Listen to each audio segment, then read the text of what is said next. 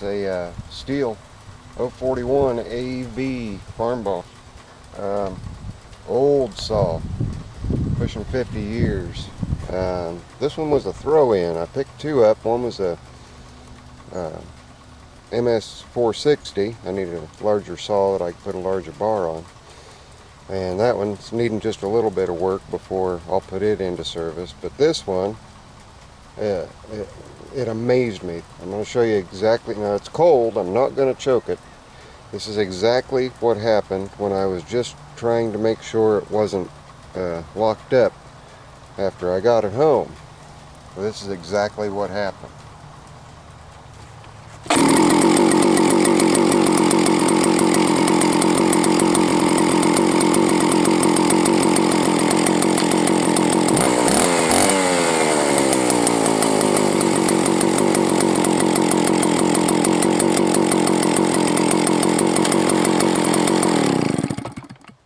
You believe that?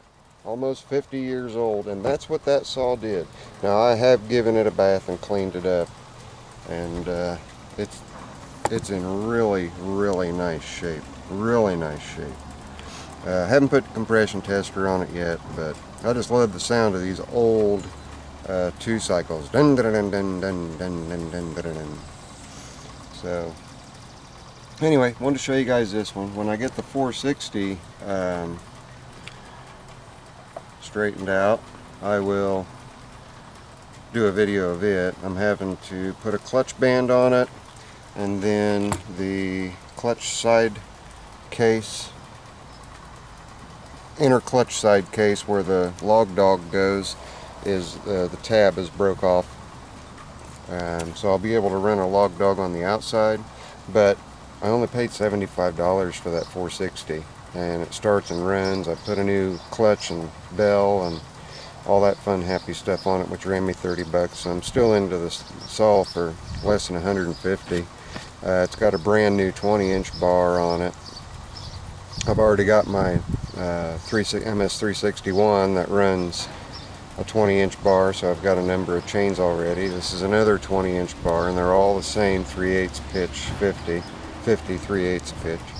Um, I can run up to a 32 inch bar on that 460 but from what I've read that's uh, kind of pushing the envelope without doing any mods. So I may get a dual port muffler for it and rejet the carb so that I can successfully run the uh, 32 inch. But in the meantime the uh, it's uh, going to get a 24 inch bar.